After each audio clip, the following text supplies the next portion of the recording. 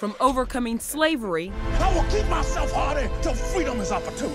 And the battle for civil rights to an inner city teen finding his footing. We can't tell anybody we're on our own.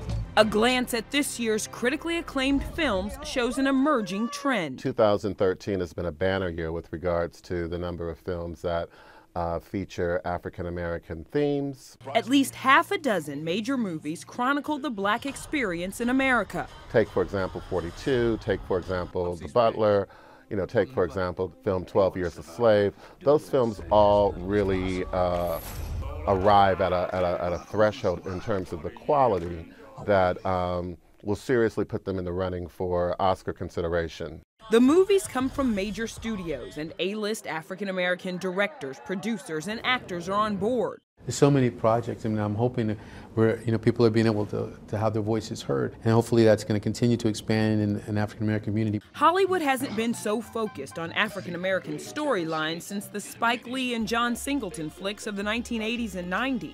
I want to do something in my life, right? I want to be somebody. We've actually seen cycles like this before. This year, I think uh, the difference is the fact that a lot of the stories that have come out this year, uh, from a quality standpoint, have realized a much higher level. And I also think that the American attitude has changed. Because the face of America is changing, some crediting Washington for this creative wave from Hollywood. I, Barack Hussein Obama, do solemnly swear we were on a political high. You know, Obama had just been elected, and people were excited about what that meant meant for our future. People have talked about the kind of the Obama effect. If people are interested and they want to go and see movies that don't that have diversity or have different, you know, or about different uh, um, things um, in that way, um, then then in a way that allows them to be created more. Many of these movies retell real life events and focus on the forgotten, like The Butler, which highlights the traditional African American family structure. One of the reasons why I loved uh, this film and wanted to be a part of it is the tenderness and nurturing nature of the middle class family. I'm so proud of you. For some, the renewed focus on African American narrative signals a lasting change. I'm hopeful that this is uh, not just a renaissance, but that this is the start of a new openness on behalf of the film industry to. Uh, to